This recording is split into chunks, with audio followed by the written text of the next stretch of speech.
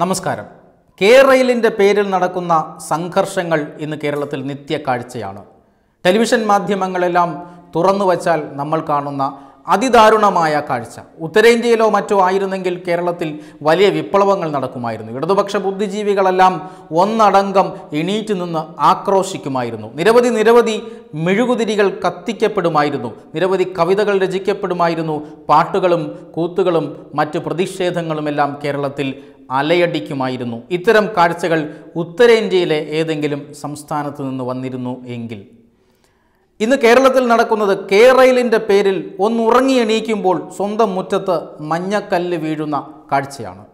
ഉദ്യോഗസ്ഥർ ഈ മഞ്ഞ കല്ലിടാനായി സ്വകാര്യ വ്യക്തികളുടെ സമ്പാദ്യത്തിലേക്ക് അവരുടെ പുരയിടത്തിലേക്ക് ബല ബലപ്രയോഗം നടത്തിക്കൊണ്ട് ഇരച്ചു കയറുകയാണ്. അവിടെയുള്ള സ്ത്രീജനങ്ങളാകട്ടെ കുടുംബനാഥന്മാരാകട്ടെ കുട്ടികൾ പോലും നെഞ്ചത്തടിച്ച് നിലവിളിക്കുന്ന കാഴ്ചയാണ് ഇന്ന് ടെലിവിഷൻ മാധ്യമങ്ങളിലൂടെ കാണാൻ കഴിയുന്നത്.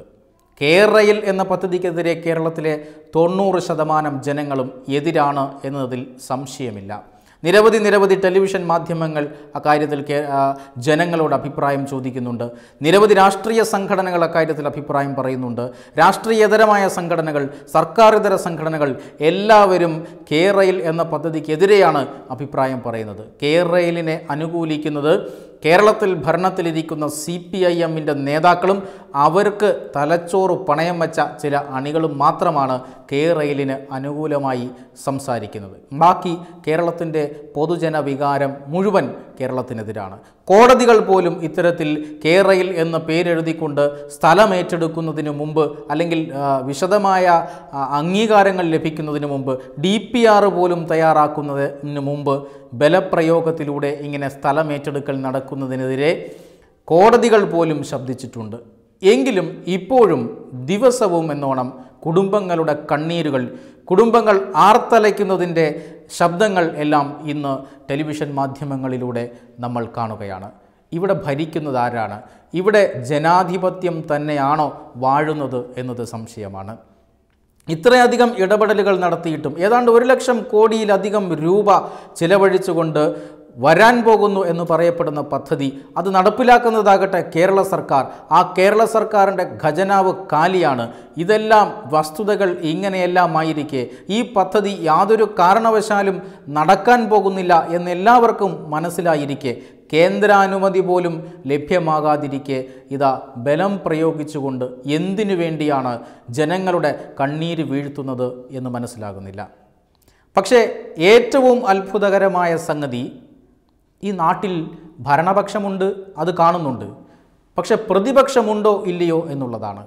നിസ്സാരമായ കാര്യങ്ങൾക്ക് പോലും സെക്രട്ടേറിയറ്റ് വളഞ്ഞു വന്നിരുന്ന കേരളത്തിലെ പ്രതിപക്ഷം. നിസ്സാരമായ കാര്യങ്ങൾക്ക് പോലും ബസ്സിന്റെ ചില്ലുകൾ അടിച്ചു തകർത്തിരുന്ന കോളേജുകളിൽ പഠിപ്പ് മുടക്കിയിരുന്ന കേരളത്തിലെ പ്രതിപക്ഷം.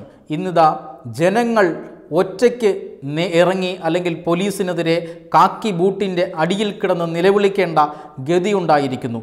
ഒരു രാഷ്ട്രീയ പ്രസ്ഥാനങ്ങളും ഇവിടുത്തെ പ്രതിപക്ഷമോ അതിന്റെ അപ്പുറത്തെ പ്രതിപക്ഷമോ ഇവിടെ ശബ്ദമുണ്ടാക്കുന്നില്ല എന്നുള്ളതാണ്. കോൺഗ്രസിന്റെ അല്ലെങ്കിൽ യു ഡി എഫിന്റെ നേതൃത്വത്തിലുള്ള പ്രതിപക്ഷമുണ്ട് ബി ജെ പി മറുഭാഗത്തുണ്ട്. ഇവരുടെ ആരുടെയും പിന്തുണ ഈ പാവപ്പെട്ട ജനങ്ങൾക്ക് ലഭിക്കുന്നില്ല. അവർ ടെലിവിഷൻ ക്യാമറകൾക്ക് മുമ്പിൽ ഇരുന്ന് കരയുകയാണ്.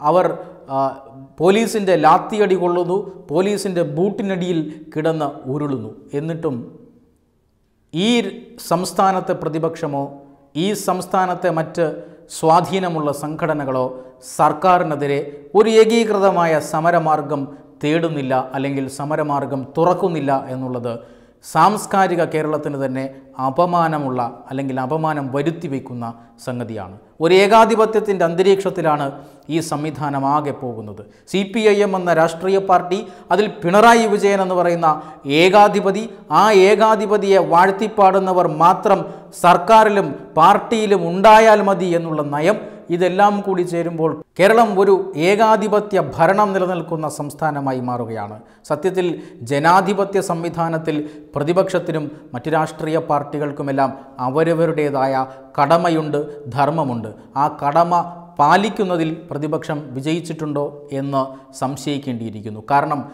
ജനങ്ങൾ ആർത്തലയ്ക്കുകയാണ് ജനങ്ങൾ നിലവിളിക്കുകയാണ്. ആ നിലവിളി കേൾക്കാൻ ഭരണപക്ഷം ഉണ്ടാകില്ല എന്നുള്ളത് സ്വാഭാവികമാണ്. പക്ഷേ പ്രതിപക്ഷം ഉണ്ടാകാതിരിക്കുന്നത് ഈ നാടിന് ഗുണകരമല്ല. വെബ് ഡെസ്ക് തത്തുമയി ന്യൂസ്.